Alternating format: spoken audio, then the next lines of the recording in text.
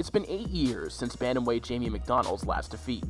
In the 19 fights following that decision loss to Lee Haskins, McDonnell regrouped and won two titles, including the WBA bantamweight title, which he successfully defended five times.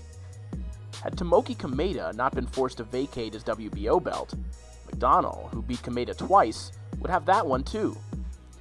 McDonnell's reign has mostly been unheralded and underrated, which is unfair because it's promotional and sanctioning body drama, not the men across the ring from him, who have prevented the fighter from holding three major bantamweight titles. But it sounds as if McDonnell has finished carving out his legacy at 118 pounds. His next bout, the fight for the WBA bantamweight supremacy against American Rau'shee Warren, will be his last in the division. McDonnell is moving up to super bantamweight. A look at McDonnell's frame helps explain why. At 5'10, his 30 year old body is bursting at the seams. Not having to cut the final 4 pounds to make the bantamweight limit should allow him to leave less of the fight on the scales. But there's a price to be paid for moving up.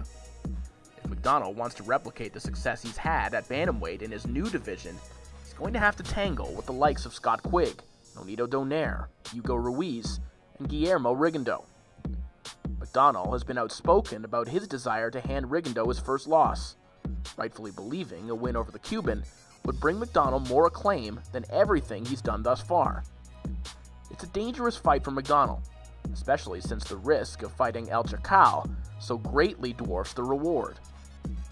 McDonnell isn't the first fighter to call out Rigondeaux, but will he be the first one to actually back up his words?